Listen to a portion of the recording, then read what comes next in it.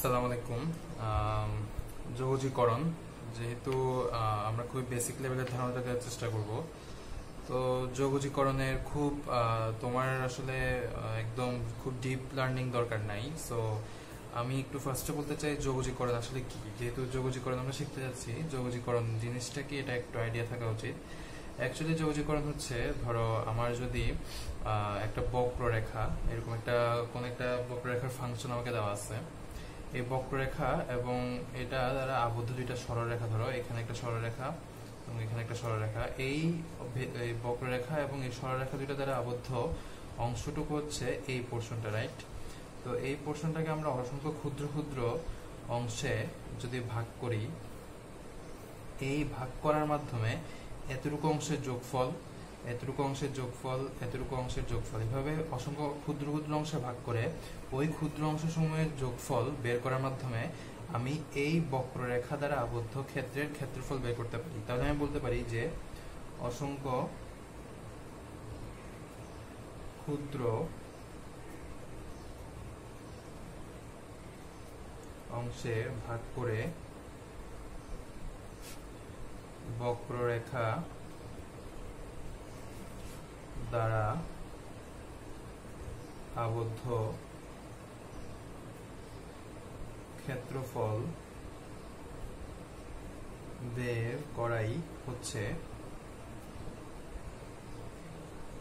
যৌগজীকরণের মূল ধারণা। বের করাই হচ্ছে যৌগজীকরণের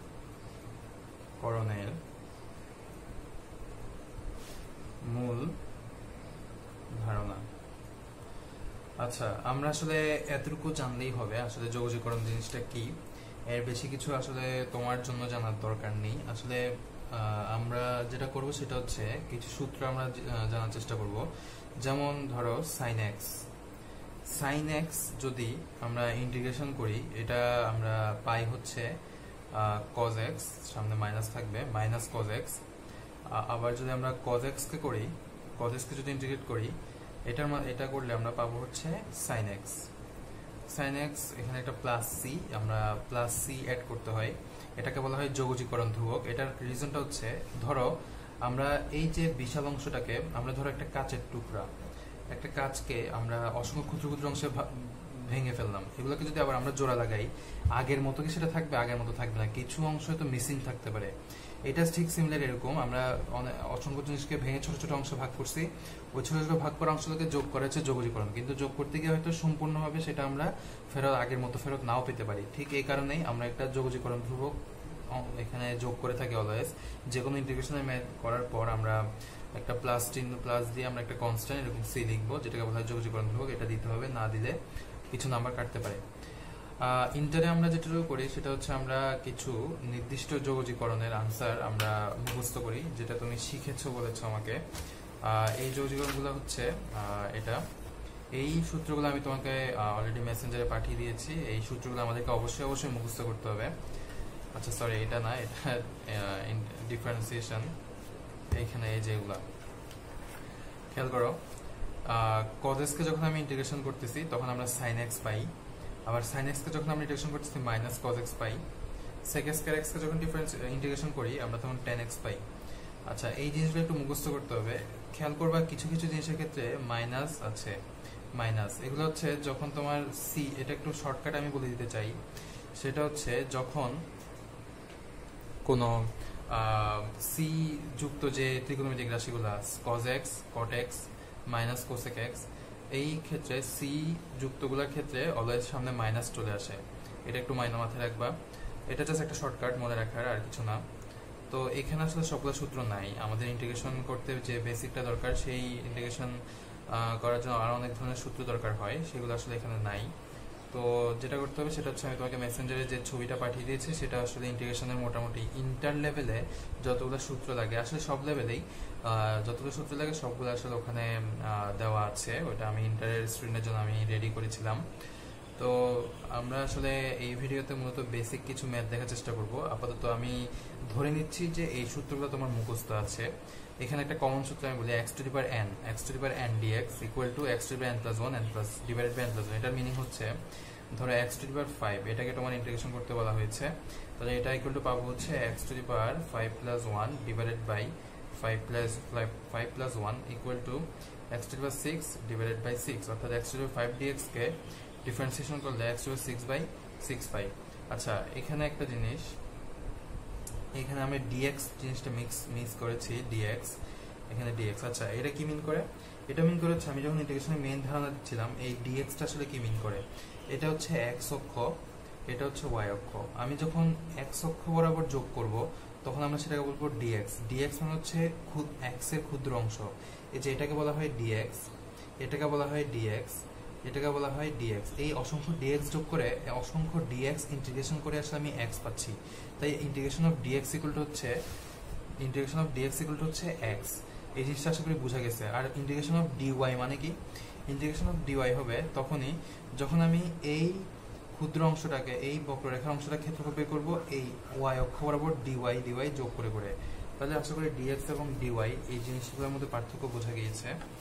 এখন যেটা করবা, সেটা হচ্ছে সূত্রগুলো একটু মুখস্থ করার চেষ্টা করবা। সূত্রগুলো মনে রাখতেই হবে আমাদেরকে অবশ্যই।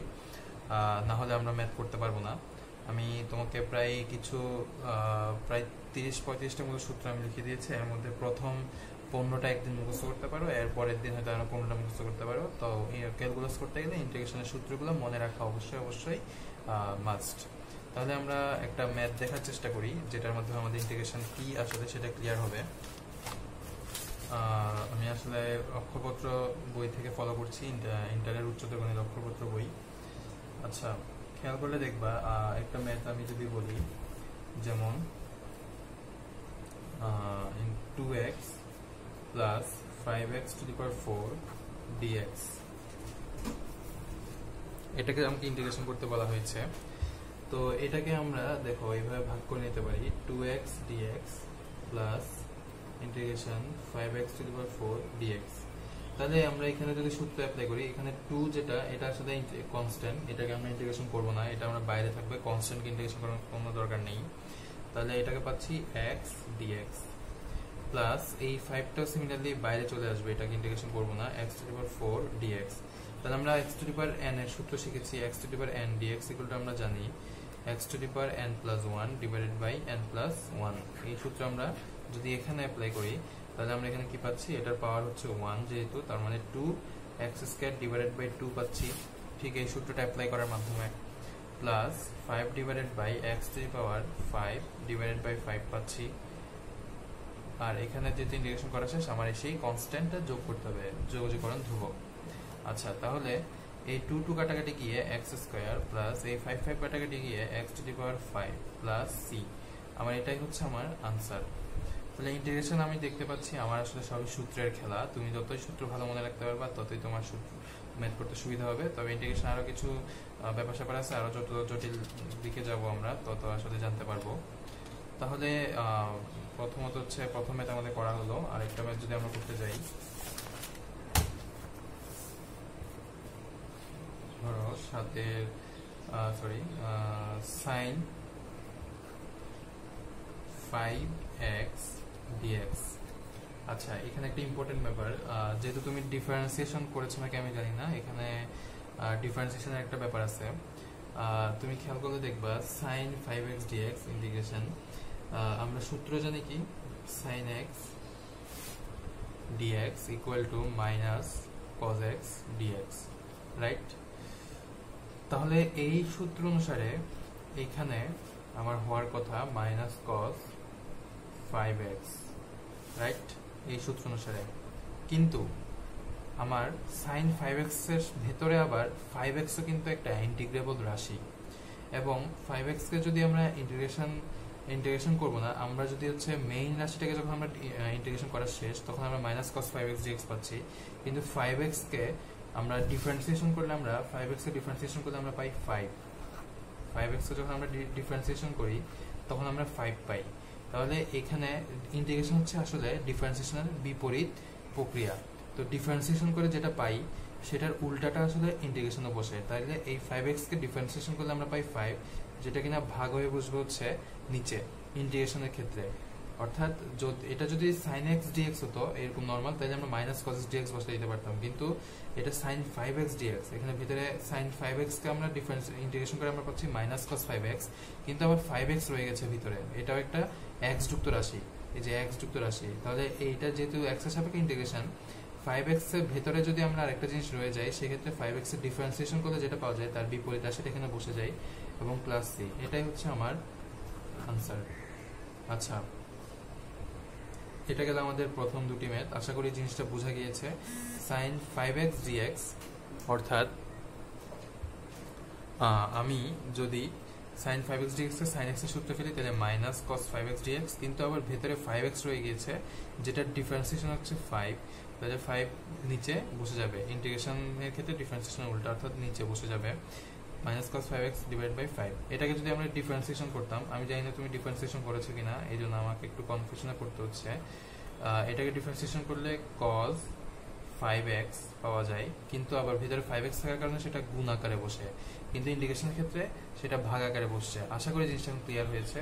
যদি ইন্টিগ্রেশন করতে চাও, তাহলে ডিফারেন্সিয়েশন এবং ত্রিকোণমিতি ডিফারেন্সিয়েশন প্লাস ত্রিগোণমিতি এই দুইটা কিন্তু অবশ্যই অবশ্যই অবশ্যই জানা লাগবে। তাই আমি আপাতত ধরে নিচ্ছি, তোমার এই দুইটা বিষয়ে বেসিক ক্লিয়ার আছে। সেই হিসাব করে আমি পরের ম্যাথগুলো করাচ্ছি।